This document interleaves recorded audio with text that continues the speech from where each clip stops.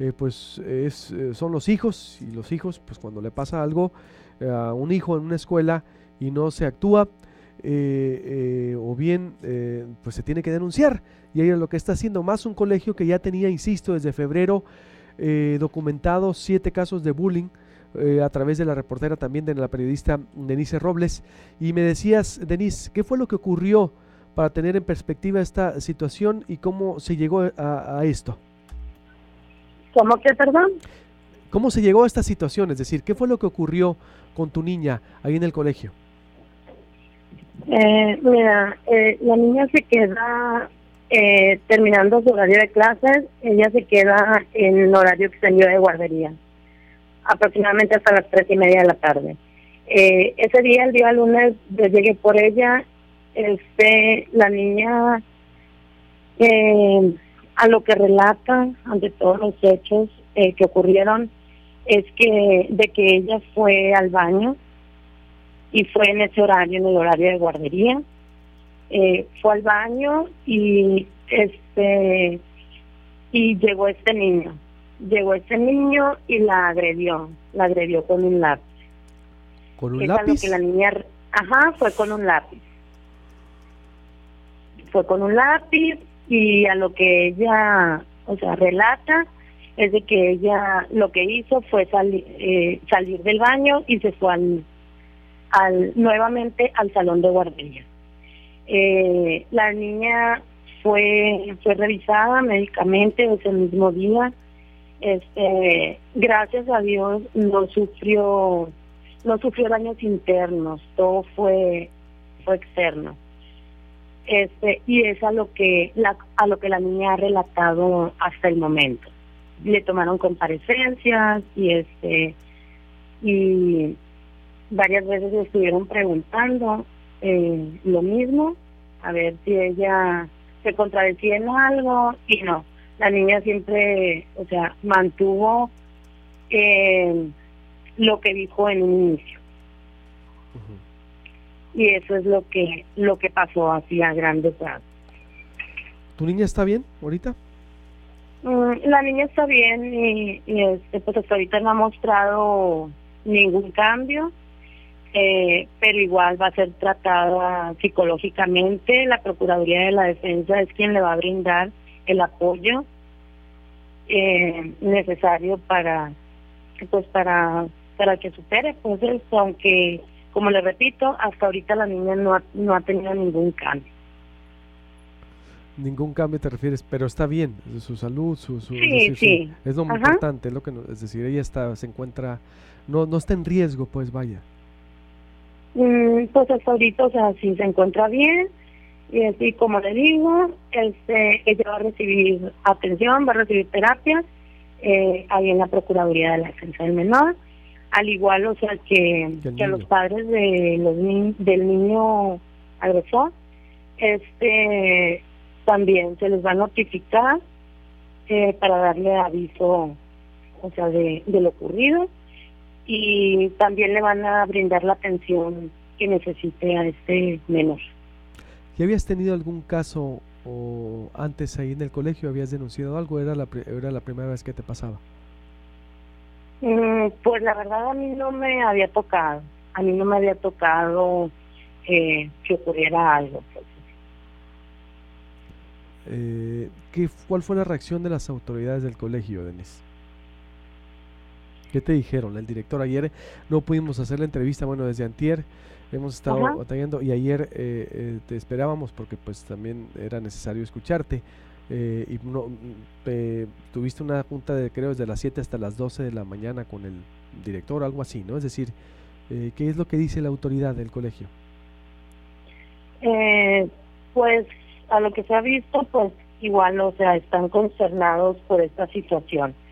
Están consternados y aceptaron, o sea, que sí, que sí hay eh, falta de seguridad en la escuela aceptaron y este y sí efectivamente eh, hasta ahorita están en la mejor disposición de de tratar de arreglar o sea todas esas anomalías que se encuentran dentro del colegio. Eh, la directora de preescolar eh, la maestra María del Carmen, pues igual muy concernada por este por esta situación.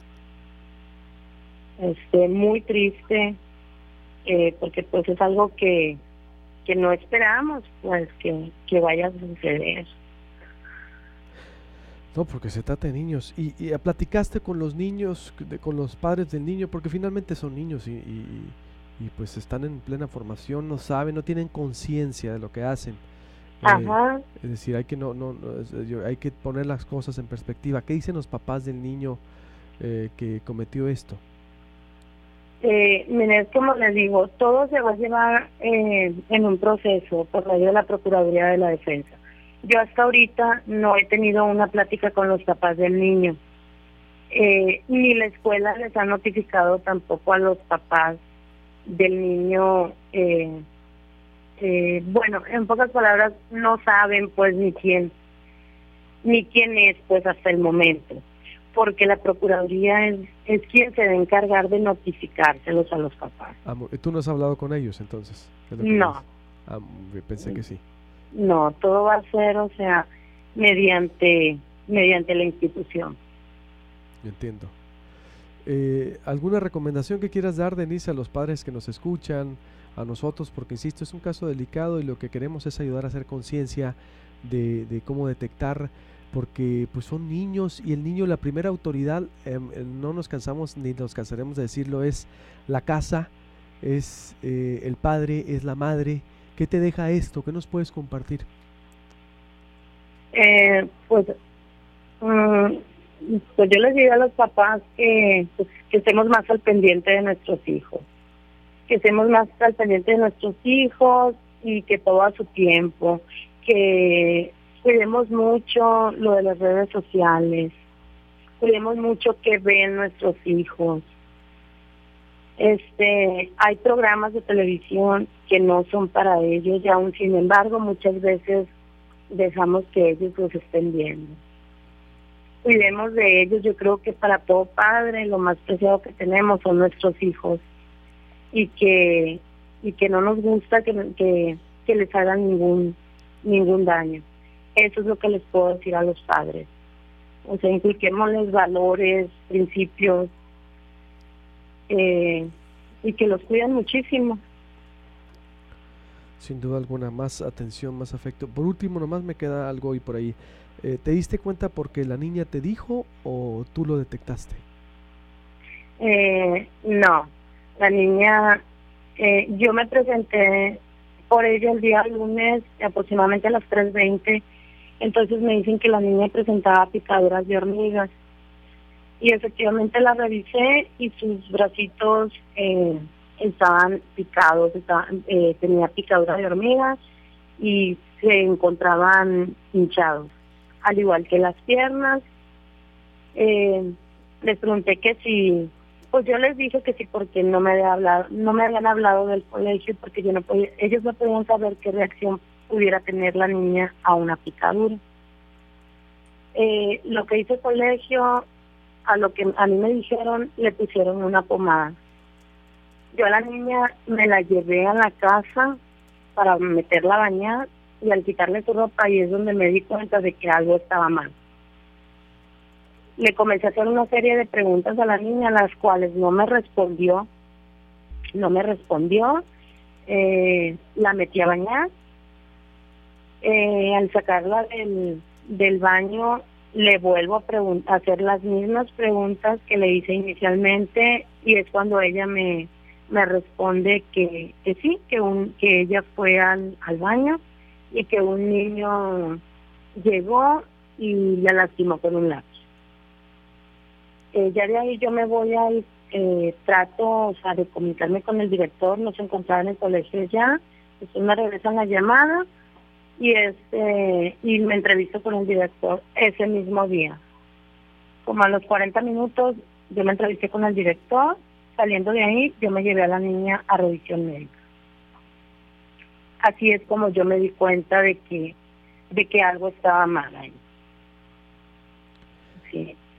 Y, y pues lo bueno que, como les digo, o sea, no hubo daños internos, todo fue externo, pero pues sí debemos de tomar las medidas necesarias para evitar todo este tipo de situaciones. Sin duda. Pues te agradezco mucho, Denise, tu testimonio nos sirve mucho eh, para hacer conciencia porque se trata de eso exacto. Cuidemos qué están viendo, eh, qué estamos viendo, porque somos lo que vemos, lo que comemos, lo que consumimos, lo que leemos y creo que todos somos corresponsables, ¿eh? todos, todos somos corresponsables y pues no resta más que esperar y, no juzgar, de ponernos en el lugar de, de todas las partes porque, insisto, se trata de niños de niños que no tienen conciencia. Sí, efectivamente. Y el niño estoy seguro que lo hizo, también no sabe que lo hizo y creo que estamos muy a tiempo de, de, que esto, de que hagamos más conciencia todos juntos, Denise. Te agradezco mucho. No claro que sí. No sé si tengas algo más que decir. No, pues hasta el momento sería todo. Sería todo y como les digo, la denuncia ahí está y, y se le está dando continuidad a este asunto. Muy bien, estaremos al pendiente. Eh, cualquier cosa, pues cuentas con nosotros, Denise. Gracias por tu tiempo. Ok, muchísimas gracias. Buenos días. Eh, insisto, sí, eh, de eso se trata, más de hacer la conciencia. Son niños, hay que ponernos en lugar. Tanto la niña agredida como el niño, que estoy plenamente seguro, es un niño de 5 años que no tiene conciencia. Pues la conciencia llega pues, después de los 30. y, a, y, algunos no le llega nunca. digo, entonces, a ver, calmémonos. Se trata de hacer conciencia a todos, de, de, ponernos los zapatos. Y la mejor, la mejor escuela es el padre y la mamá. Yo siempre he dicho, eh, la primera gobernadora es la mamá y el primer alcalde es el papá. Y la que dijo Denise es muy importante. Cuiden que están viendo los niños, porque ya las nanas son ahora las tablets y, las, y los celulares. No, el afecto, que no se pierda la educación que tuvimos todos. Yo, por ejemplo, vengo de esa educación de los ochentas, en donde salí a jugar al patio, en donde fue muy inocente todavía. Eh, es decir, con, con, deporte, con muchas cosas. Y sí, el Nintendo era restringido, era Nintendo, ¿no? Nótese, ¿no? Qué moderno. el, el Nintendo era haber eh, restringido y lo tuve hasta el quinto año, sexto y, y, a dos horas una o no, es decir, muy restringido y eran, en verdad, hay que volver. Back to the basic, ¿no? Volver a lo de antes, en verdad. No puede ser que ahora, porque me decían unos padres, cenamos con unos padres, unos amigos, y me decían los, el viernes pasado, es que las escuelas también les piden eh, mucha tarea, dos horas de tarea, los estresan mucho, eh, los, los, demandan mucho y ahora el niño es, el por qué, es el niño por qué, por qué sí, a ver, siéntate a comer, mi hijo, no, ¿y por qué? Pues si todavía no tengo hambre, siéntate a comer. No, pero ¿por qué si todavía no sirve a la mamá? Porque te sientes. Pero papá, o sea, a ver, a ver, antes siéntate a comer, claro que sí, te sentabas. Y ahora es todo, todo cuestionan porque el niño está muy informado, está hiperconectado hay que volver en verdad a herramientas de antes, de los valores, eh, a ser más cuidadosos eh, con lo que ven. Yo creo que Denise, el mensaje que da es, eh, es para ayudarnos. ayudarnos a hacer la conciencia. Corte y vuelvo, extranjeros en Sonora y también rayos. Blanca y desde este viernes a las 12 del día hasta